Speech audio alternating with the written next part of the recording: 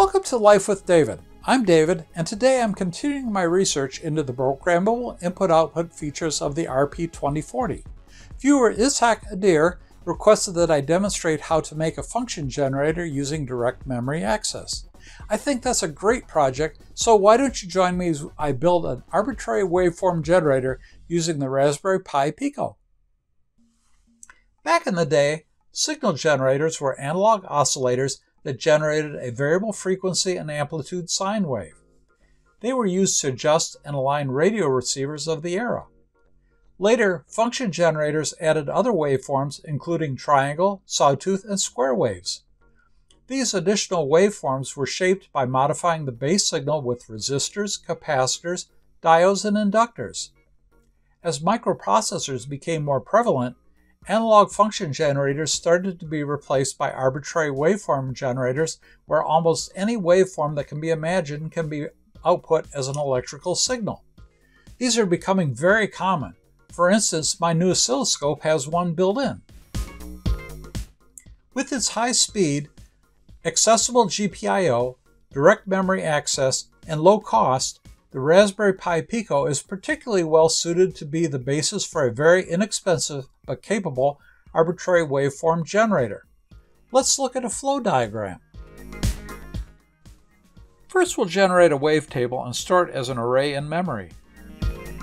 When we're ready to output the wave, we'll use direct memory access to repeatedly move the data from memory to the programmable input-output. The PIO will provide the timing to send the parallel data to the GPIO pins.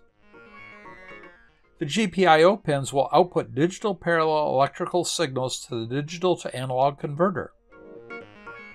The digital to analog converter combines the parallel signals into one analog signal, which is then amplified by the amplifier for use. The first four blocks are provided by the Pico, we'll have to add the DAC and the amplifier. A digital to analog converter, also known as a DAC, is a circuit that converts digital signals into analog signals. Both main types of DACs are resistor networks which generate smaller voltages for the lesser significant bits and larger voltages for the more significant bits. The only difference is how the resistors are connected.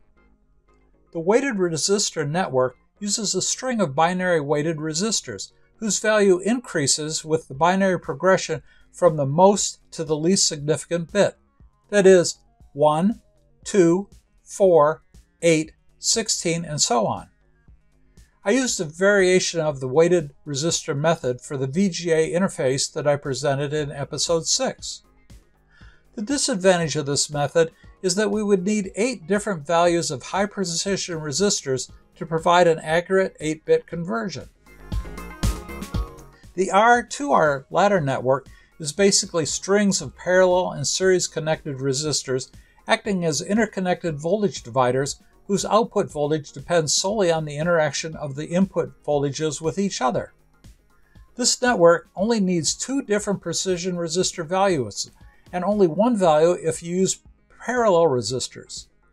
Although our 2R networks use more resistors than weighted resistor networks, the resistors are much easier to obtain. I got a 1% resistor assortment which included 21K and 22K resistors for around $6. Let's put together the circuit. First I measured each one of the resistors and recorded their values. I determined that the mode of the 2K resistors was almost exactly double the mode of the 1K resistors. Then I chose resistors with resistances closest to the mode for each value. This allowed me to get resistor values within a half percent of the desired value.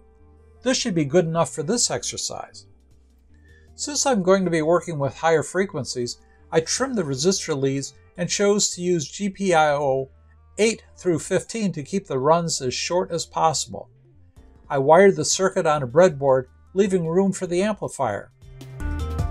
For the amplifier, I chose an LM358, which is a common medium speed operational amplifier that's capable of single supply operation. Mainly, I used it because I had several in my stash. It's not that fast, so I don't expect great high speed performance. I configured the op amp for Unity Gain. That way, I can get by using the plus 5 volt VBus power from the USB port. Next, I'll do a quick proof of concept MicroPython program to see if the DAC works. This script just sends increasing binary data to the PIO, which then outputs 8 parallel bits through the GPIO. Good, we have a signal, although it's really slow. The goal is to use DMA to transmit the data to PIO. If you remember from my DMA video, we can use one DMA channel to start another one after it is finished. Since I want the waveform to be uninterrupted, I want each of the two DMA data channels to immediately start the other one without relying on two DMA control channels. This is possible if we align the data table to a naturally occurring memory boundary. This is easy to perform in C, C++, but there's no good way to do it in MicroPython. I know because I've tried. A lot. Therefore, I decided I would use C, C++ to control my arbitrary waveform generator. Let's go through the programs in detail. I'll put a link to all the programs in the description below. The main C program does the heavy lifting in this case. We'll start out by including all the libraries we need, including the usual cast of characters as well as DMA and our PIO program. Here we define our constants, including pi and the clock frequency we'll use for pacing the PIO data. Since there will be 256 elements in the waveform array, and we'll output one element per clock cycle, the PIO clock frequency of 10,000 should give us a waveform frequency of roughly 39 Hz. Inside the main program, I'll initialize the standard I.O. so that I can print from within the program. I'll set the number of GPIO pins to output to the DAC to 8 and the number of elements in the waveform buffer to 256. I'll also initialize the variable factor as floating point. I'll need that later. This section configures the PIO and starts it running by using a PIO helper function. See episode 7 of the PIO Chronicles for more information. I'll put a link in the upper right hand corner. Here we set the PIO block, the state machine number, the PIO program offset, the start of the GPIO block, the number of pins in our GPIO block, and the state machine clock frequency. Now I'll reserve two DMA channels, Wave DMA channel A and Wave DMA channel B. Here I initialize the waveform buffer as an integer array with 256 elements. What's important is that I will align the start of the array to be on a naturally occurring 256 byte address boundary. This will allow the DMA to keep cycling through the same addresses without having to rewrite the starting address to the DMA control register each time. In this section, I'll fill the waveform buffer. An integer divided by an integer will yield an integer. However, since I need a floating point value to calculate the wavetable, I'll cast i as a floating point variable for this equation. This equation is the basis for the arbitrary waveform. This equation could be any continuous function. Here I'm using a simple sine wave. Now it's time to create the configurations for the two DMA channels to operate in a ping-pong manner. Both configuration blocks are similar, except Wave DMA channel A chains to Wave DMA channel B, and Wave DMA channel B chains to Wave DMA channel A. Let's quickly go through the configuration. We'll start with the default DMA configuration, which will transfer 32 bits at a time while incrementing the read address and not incrementing the write address. Next, we'll immediately start the other DMA channel when this one has finished its transfer. Here, the PIO will provide the pacing for the DMA. That is, the PIO will control the speed of the DMA transfer. Finally, we'll set the DMA to loop the read address every 2 to the 8th or 256 times. This simplifies managing the read address, allowing us to eliminate a control DMA channel that rewrites the read address prior to the start of each data transfer. This provides for a seamless data stream. I'll complete the configuration of each DMA channel by assigning the configuration block and assigning the write address as the PIO state machine 0 transmit FIFO register. I'll tell DMA to read the data from the wavetable buffer and make 256 transfers, but don't start yet. Now that the configurations are assigned, I'll start the first DMA channel. The DMA channels will now transfer data to the PIO without input from the main core. This section of code provides the ability to print values for debugging. I also expect that I'll be able to use this area in the future to reconfigure the AWG on the fly. The PIO program is a very straightforward program, just output 8 bits every clock cycle. Let's go through the PIO program. First, we'll identify the program name, in this case, PIO byte out. Next is the actual PIO program.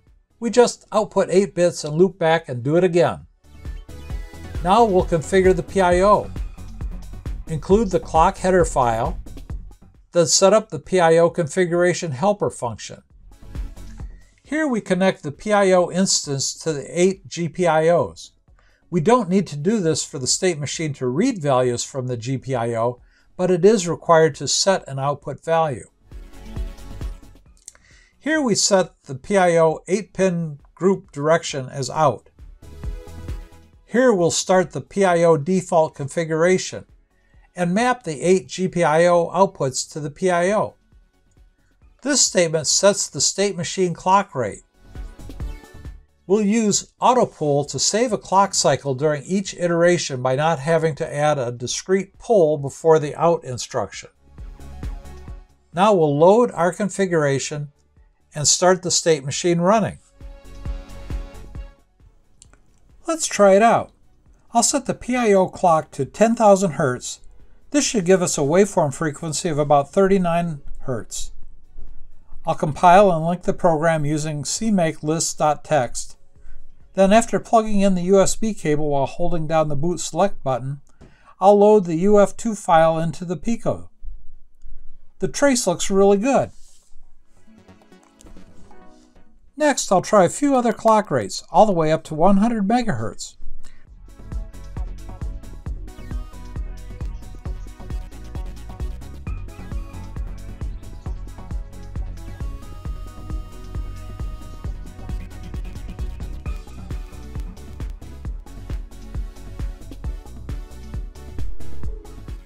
we're getting a wave frequency of 390 kHz at a very low amplitude. This is expected since we're really stretching the capabilities of the LM358 at this frequency. How accurate is the Pico? Well, here's a comparison between the Pico generating a 60 Hz signal compared to the scope calibration trace tied to line voltage. As you can see, the traces are in almost perfect sync. Success! Thanks for joining me today. We made an arbitrary waveform generator with a Raspberry Pi Pico and a homemade digital to analog converter. The results were really good and the accuracy seems outstanding. Next steps are to improve the user interface, add other functions, and increase the wave frequency with a higher speed amplifier. Maybe I'll tackle those in a future video. Let me know if that's something that would interest you. If you like this video, or you think someone else might, please give it a thumbs up. If not, give it a thumbs down. The more likes this video has, the more YouTube will recommend it to others. Also, please leave a comment or a suggestion for things to do. I hope to do more of these videos, so please subscribe and click on the bell for notifications of new videos. Let's get together next time for another day in Life with David. See you soon!